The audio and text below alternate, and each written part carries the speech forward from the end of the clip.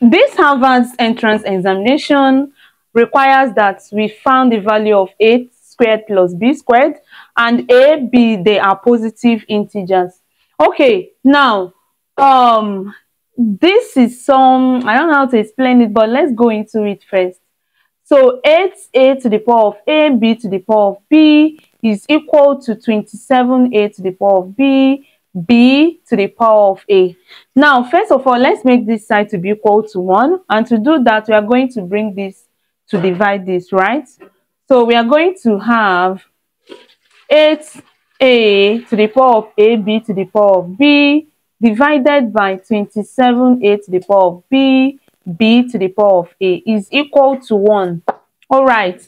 So this implies that 8 over 27, okay, multiplied by, now a to the power of a divided by a to the power of 3 b, using the exponent law that a to the power of x multiplied by a to the power of y is equal to a to the power of x plus y, right? Now, if it's division, if it's division, then it's going to be x minus y. So this time around, it is division, so we are going to subtract the powers and pick one base. So we are going to pick a as our base, and we are going to subtract the powers, a minus b. Then similarly, b to the power of b divided by b to the power of a, we are going to pick one b and we are going to subtract the powers is equal to 1. All right, perfect. So this implies 8 over 27. Let me continue from this side. So we have 8 over 27, all right?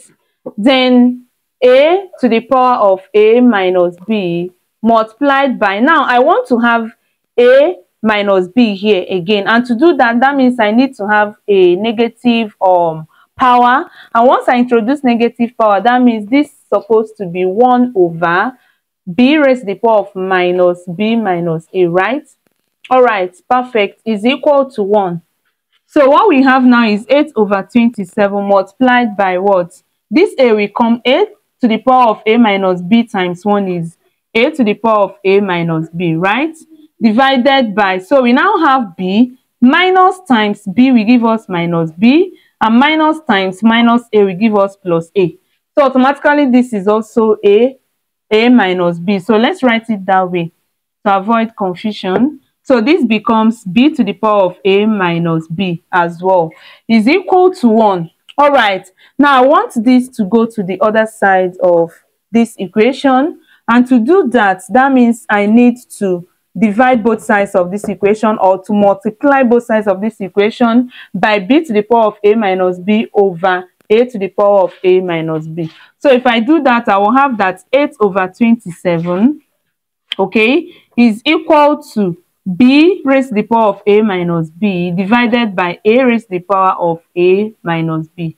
All right, perfect. So we have 8 over 27 is equal to, since they have the same power, we can write this a b over a raised to the power of a minus b, right? Okay, now we can um, factorize this, or sorry, put this in, in index form. And in index form, 8 is same thing as 2 to the power of 3, and 27 is same thing as 3 to the power of 3, okay? All right, is equal to b over a raised to the power of a minus b.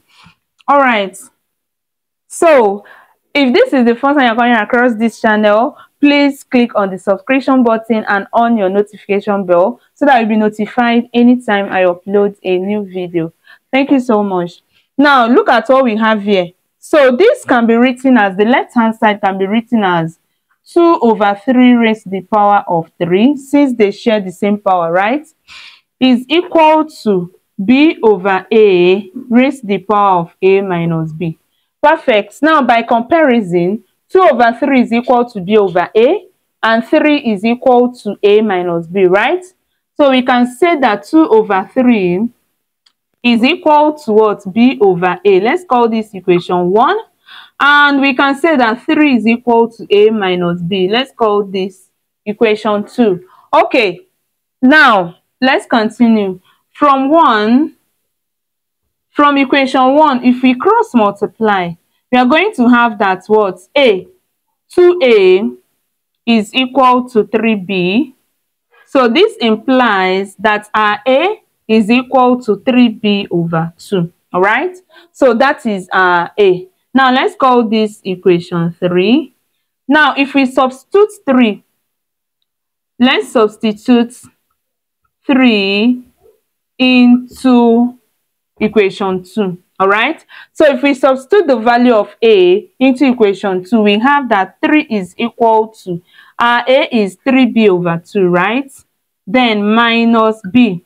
Okay. So this sentence as 3 is equal to 3 over 2 bracket B minus B, right? Sorry.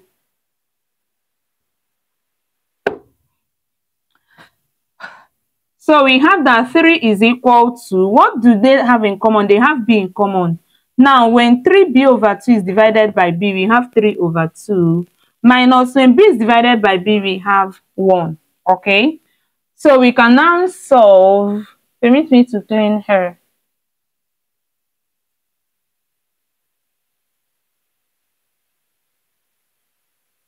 Alright, so we can now solve that 3 is equal to what?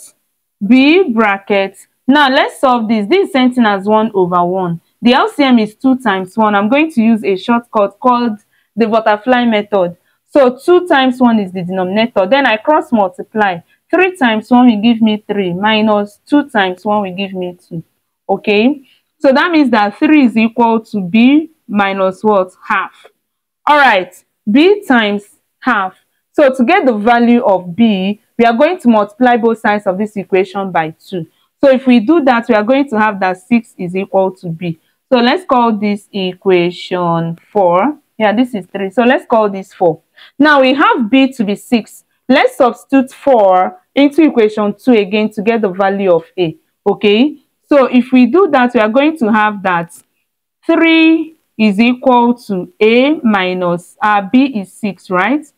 So this implies that 3 plus 6 is equal to A. That means our A is 9. Now back to the question. The question says A squared plus B squared, right, is equal to what?